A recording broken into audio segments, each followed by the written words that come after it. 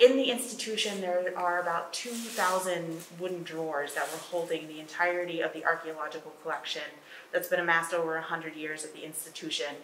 And so starting in about 2017, we made a concerted effort to touch every single item that was in those drawers, inventory and catalog that material into our database so that it's searchable, accessible for teachers, for researchers, for students, and for our tribal partners. And we now have fewer than 20 drawers left to go. The process of inventorying involves taking out each and every drawer, taking every single item out of the drawers, identifying the catalog number that's already been assigned or assigning a new one.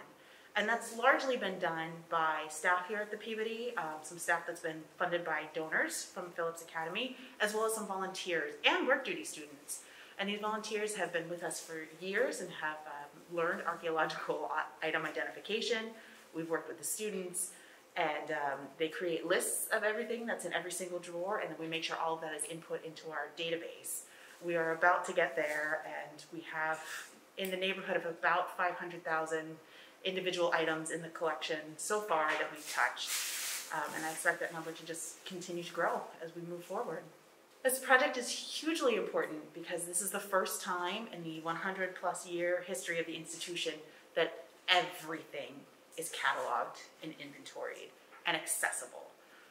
Prior to this, um, you know, when the institution started, they started with a list of one, two, three, four, and just kept all of that in ledger books. And then they switched to um, a system where they use note cards to keep track of everything.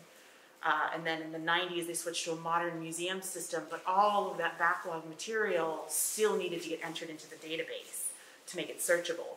And so now we are finally reaching that goal where everything is going to be accessible digitally so we can find it, locate it, share that information with anybody who needs to have it, and make it accessible for the people who need to see it.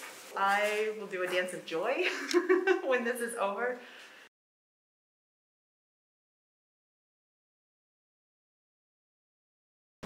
I feel like we should do a happy dance.